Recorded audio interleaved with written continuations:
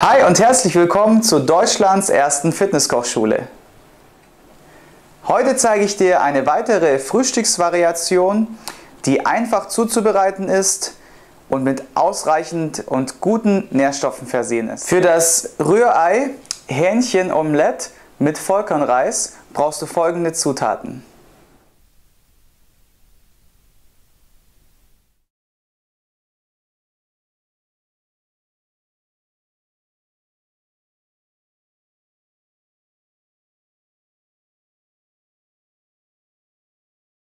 Der Reis ist fertig und jetzt können wir mit dem äh, Omelette starten.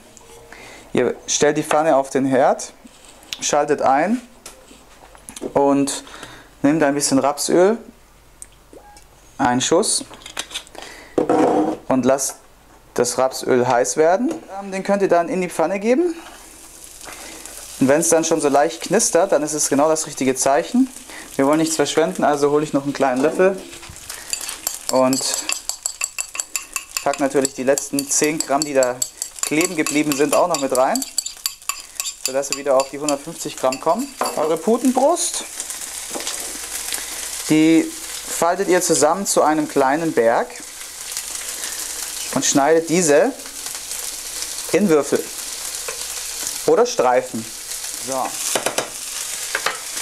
Zu guter Letzt kommen die massiven 6 Eier Eiweißträger.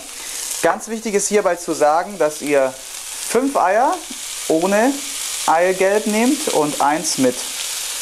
Ihr könnt natürlich auch die Eiermenge reduzieren auf drei Eier. Dann habt ihr einfach in der Summe weniger Eiweiß. Aber so wie ihr euch das gerne zusammenstellt.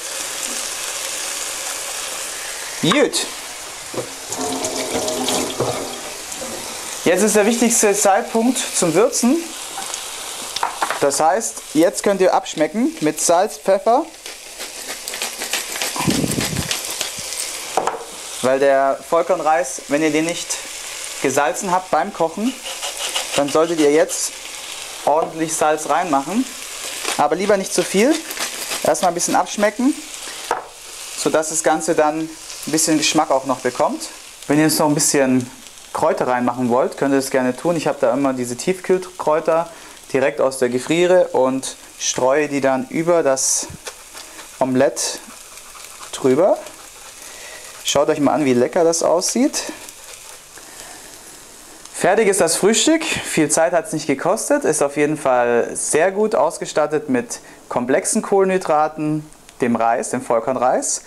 Natürlich viel Eiweiß, den Eiern, den Eiweiß und vor allem die Hähnchenbrust. Ich wünsche dir guten Appetit.